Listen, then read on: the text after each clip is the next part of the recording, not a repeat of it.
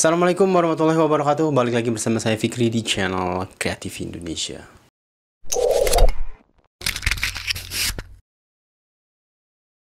Halo guys, bagaimana kabar kalian? Semoga selalu baik-baik saja, semoga selalu dalam lindungan Allah Subhanahu wa taala dan semoga selalu dijauhi dari segala mara bahaya dan kesusahan serta segala penyakit amin ya rabbal alamin. Dan jangan lupa guys untuk selalu bersyukur atas apa yang telah Allah berikan pada kita selama ini. Oke okay guys, kali ini saya akan kembali melihat sebuah video uh, dari permintaan kalian semua guys, yaitu judul videonya True Stories of Tunku, Insan Budiman, Aksi Merdeka Film Series 2020 saya nggak tahu nih guys siapa ya ini uh, tunku tunku yang dimaksud ini siapa ini? Saya nggak tahu guys. Oke okay, untuk uh, untuk lebih jelasnya kita akan lihat sama-sama guys. San Budiman.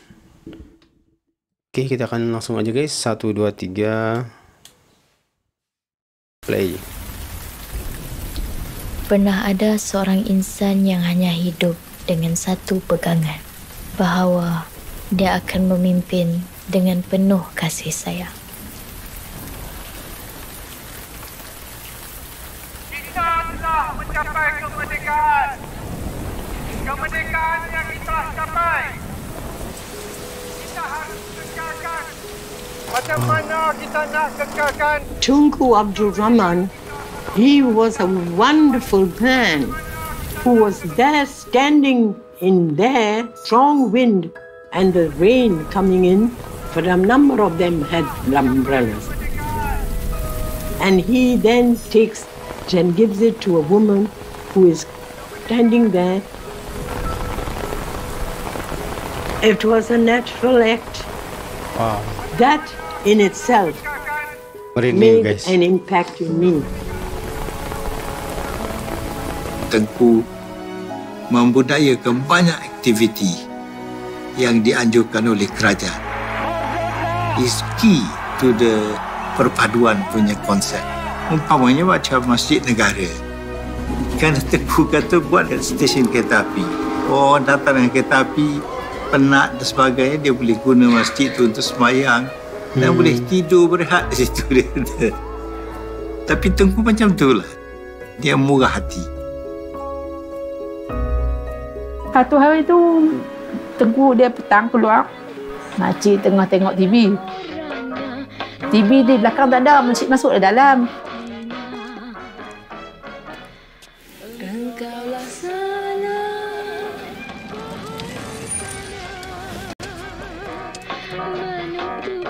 Tengku tengoklah dari jauh boleh nampak lah TV tu on. So Tengku tanya saya lah, tu uh, siapa lupa tutup, tutup, tutup, tutup TV? Apa? Ya Tengku. Apu, siapa tak tutup televisyen? Ha, tapi saya tak bagi tahu Tengku lah kata Kak Mia. Tengok. Cakaplah Apu.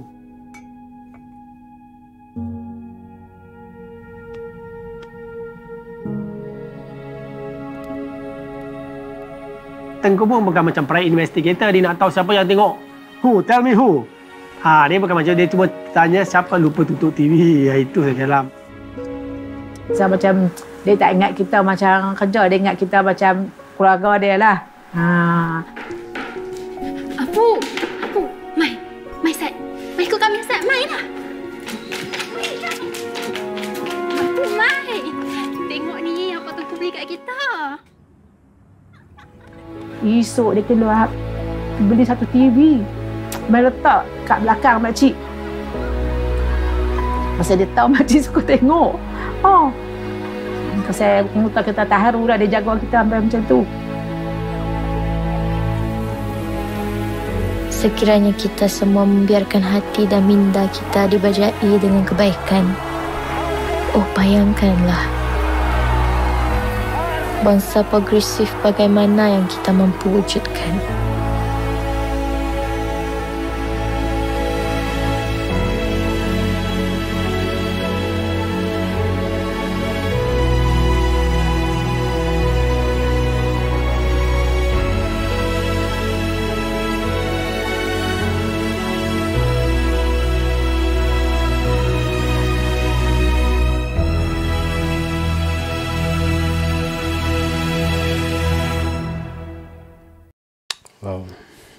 Seseorang dengan kepribadian yang sangat ini guys ya, sangat menarik guys. Kalau saya lihat dari kisahnya ini beliau tokoh besar ya, tokoh besar. Tokoh besar yang memberi banyak inspirasi kepada setiap golongan, setiap bangsa. Memang guys, cerminan seorang pemimpin negara adalah kita lihat dari bagaimana ia memimpin sebuah keluarga gitu guys kadang kita melihat banyak kepalsuan gitu. Seorang pemimpin tapi dia tidak bisa memimpin keluarganya dengan baik. Bagaimana ia bisa memimpin kita semua gitu bangsa negara ini? Sedangkan dia sendiri di rumahnya tidak uh, memimpin dengan baik gitu. Namun lain dengan seperti yang tadi saya bilang Tunku Abdurrahman ini beliau bahkan di rumahnya sendiri uh, memperlakukan yang bukan uh, keluarganya sebagai bagian dari keluarga dia. Bagaimana ia sikap bagaimana ia uh, mengerti betul bagaimana ia maksudnya mengerti betul uh, setiap orang yang ada di rumah dia gitu guys. Dia ber, berperan sebagai ayah di situ guys, berperan sebagai seseorang yang ingin merangkul gitu. Walaupun kondisinya walaupun di situ pembantu rumah tangga ya, tukang masak, tukang dapur gitu kan. Tapi Tunku Abdul Rahman ini melihat lebih jauh apa yang dibutuhkan, apa yang diinginkan, apa yang disukai oleh mereka gitu bahkan ini sesuatu yang menyentuh hati saya juga. Mungkin ini sikap ini yang memang sudah dari lahir diterapkan kepada beliau bagaimana beliau juga mendapatkan perlakuan yang sama dari orang tuanya, beliau mungkin mendapat uh, pendidikan dari orang tuanya juga seperti itu, bagaimana cara bersikap kepada orang, pada orang lain, bagaimana cara memperlakukan orang lain. Setiap tingkah lakunya akan dicontoh, setiap tingkah lakunya akan dikenang guys. Walaupun mungkin cepat hanya mungkin bagi sebagian orang sepele tapi ketika orang yang berhati bersih, orang yang berhati terbuka, orang yang berhati hatinya tidak kotor, dia melihat kebaikan di situ walaupun sedikit apa pun, itu pasti akan berkesan. Itu pasti akan menimbulkan sebuah kesan yang mendalam gitu. Walaupun kebaikan itu bukan dilakukan kepadanya, tapi pada orang lain. Tapi itu pasti akan berkesan pasti akan memberikan sebuah efek gitu guys. Penilaian gitu. Inilah mungkin yang diajarkan juga di orang tua beliau bahwa sekecil apa pun keba kebaikan itu kadang kita malas melakukan kebaikan itu ah ini hanya sepele lah. Tapi sebenarnya kebaikan yang kecil itu justru bisa menyebabkan hal besar terjadi, kebaikan yang besar terjadi gitu. Seperti contohnya kita pernah dengar kisah seorang pelacur, kisah seorang orang-orang yang dianggap hina oleh kita, oleh manusia tapi dengan sekedar memberikan minuman kepada seekor anjing itu menjadi penyebab dia masuk surga. Padahal hal itu mungkin sepele, hal itu tidak pernah dinilai kebaikan bagi semua orang. Tapi itu adalah baik di sisi Allah, baik di sisi Tuhan kita. Gitu guys.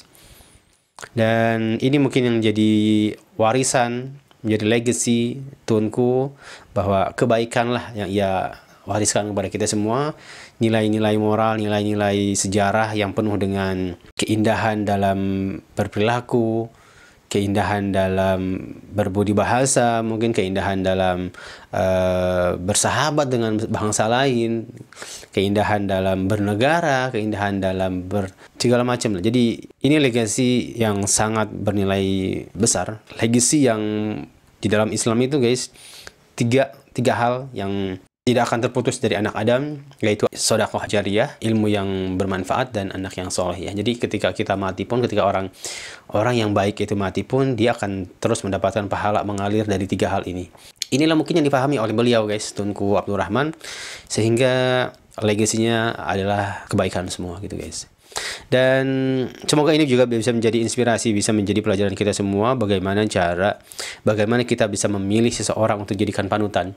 Seseorang dijadikan sebagai inspirasi kita adalah orang-orang yang seperti ini, orang-orang besar di dalam sejarah-sejarah yang memang sudah dibuktikan di dalam sejarah bahwa mereka-mereka ini bahkan uh, termasuk Tunku Abdurrahman ini mampu memimpin, uh, mampu memberikan nilai-nilai uh, positif, mampu memberikan mampu memberikan nilai-nilai kebaikan gitu di dalam sejarah hidupnya dan sejarah, dan sejarah hidupnya kental sekali, sangat erat sekali dengan sejarah Malaysia itu sendiri.